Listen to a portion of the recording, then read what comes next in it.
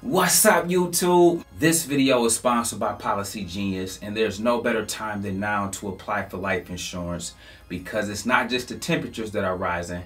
Life insurance rates can go up each year you wait. Policygenius makes it easy to compare quotes from over a dozen top insurers all in one place.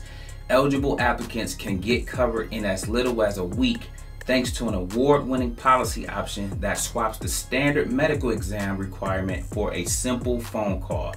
This exclusive policy was recently rated number one by Forbes, higher than options from Ladder, Ethos, and Bestow. Make sure you guys take advantage of this. Getting started is easy. First, head to policygenius.com slash Chris Sain. In minutes, you can work out how much life insurance coverage you need and compare personalized quotes to find your best price. When you're ready to apply, the Policygenius team will handle the paperwork and scheduling for free. Policygenius never sells your information to other companies, and Policygenius does not add extra fees. Head over to policygenius.com slash Chris Sain, and remember, when it comes to life insurance, it's nice to get it right. Okay, guys, let's talk about it, guys. Listen, listen, when the market is doing what it's doing, you want to make sure that you are positioning yourself in a way that you can withstand whatever the market is doing. So if inflation, for instance, if inflation is at play, guys, you need big tech. Big tech is your hedge. Big tech is how we are going to play inflation. And so if you guys think about it, if you wonder how you weather the storm, or how your portfolio can maintain its value. When everything else around you may be going down you need to make sure you're overweight in big tech okay? So it's important that you guys understand no matter what the day brings it's about how you structure your portfolio on your journey whether it's the 100k or whether it's just your investment journey in general. And as i often say you need your long-term plays aka your pillars Okay, that's just what's going to help you maintain the value of your portfolio. It's the reason why I'm never going down heavily no matter what the market does. That's the one thing I want to show you guys too is your portfolio diversity. Never have more high risk plays than you do your long-term growth stock plays. Never have more money in your high risk plays than you do your long-term and slash your pillar plays, okay? That's just important again, it's a small thing, but it's a big thing, okay? You want to make sure that if it's a long-term hold for you, if it's a stock that you know you're riding to the wheels fall off, that you have that one heavily invested in versus, again, having a high risk play. You put 10,000, 20,000, 50,000 that, and even worse, you might buy every single one, okay? Try to avoid that if you can. Strike a balance. Have 10 plays total if you can try to make sure you have your Apples, your Microsofts, your Facebook as your bigger plays and your other positions a lot smaller size of your portfolio with the thought that they can run a lot higher, okay? Let's take a look at a few plays that you need to make sure that you tap into ASAP. Speaking of Apple, guys, I'm kicking this one off with a play that I think you guys need to have as one of your pillars, okay? One of your long-term holds as well as a play that's going to do well against inflation. And when I say well, I just mean it won't drop as much as some of your other high risk plays. Okay, so follow me on that, guys. What I'm talking about when I say do well, it may just stay stagnant. This play has been stagnant for the last nine months before this run up to the 140 level. Okay, however, I'd rather be still than for 60%. If you agree with me, let me know, okay? So Apple would be a type of play that should serve as a pillar of your portfolio. So that means if you're gonna put some money in your portfolio, if you had $10,000, okay?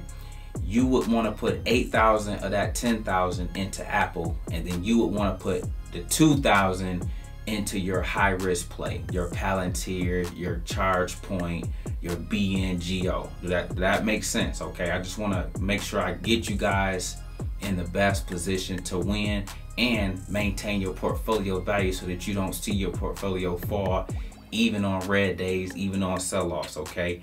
Check this out. Another one to consider, Microsoft, okay? This is a big dog, AKA a pillar a stock that should be a pillar of your portfolio. Okay, this one's currently sitting at 280. As you see, this one was up on the day. Check out what's up today, check out what's down. Okay, but again, if you don't choose Apple, you may consider Microsoft, okay?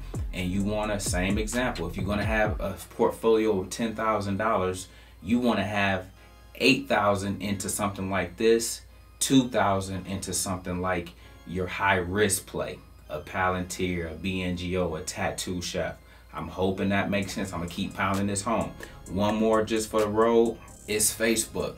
Okay, ticker symbol FB. This one currently sitting at $351. But look at this. Look at how on a down day, when everything else is down, look at wouldn't you guys rather be down this than 4% in your play? This is kind of stuff I want you to pay attention to. Don't get all red days are not the same. All plays that are red are not the same. Some are barely down. Look at how close to the line this is, okay? Some are barely down, okay? Some are down 4%, 7%, 10%. It's levels, okay? This is when you want to consider. This is probably the best of them all, but if I had to choose, you should at least choose one of these, if not all three of these. That'll take up three of your 10 total plays you should have. Now, the rest of the seven, you want to be very surgical with how you construct it, okay?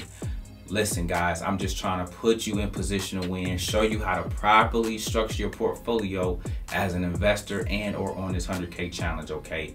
This is what is truly all about. Up next, guys, we have our word of the day, and our word of the day is rolling corrections. Listen, guys, I want to talk to you about rolling corrections. I brought this up in the past, but just in case you guys missed it, I want to circle back and touch on it again. In the stock market, whether in this market particularly, okay, you will have what's known as rolling corrections, meaning they will just roll from sector to sector. Lumber will get hit then commodities will get hit, utilities will get hit, momentum will get hit, tech will get hit, industrials will get hit. It's just rolling on to the next sector, okay? Be mindful, understand this market is not like any other market. And so, for you to have a different psychology about how you go about this, okay? That's what it comes down to. And I don't want you guys getting flustered or too deterred because you don't recognize fully what's going on, okay? So again, just be mindful, but more importantly, have your strategy in place. Know how you want to play it. Know what plays you want to be in and know what plays you're willing to ride to the wheels fall off in, aka staying 10 toes down in, like we say over here, because it makes a difference when you're going through the fire, okay? It makes a difference. And again, minimize all the high risk you are trying to jump into and, and play and make sure you got some balance with the type of plays we talked about today. Apple being one, Microsoft being another, Facebook being another. I could have named Google, I could have showed you Amazon. The list is long, but I want you guys just to get in the mindset of let you at least have one of those, if not two of those don't hurt to have all three just to make sure you got three big dogs as part of your play, especially if you know you go a little haywire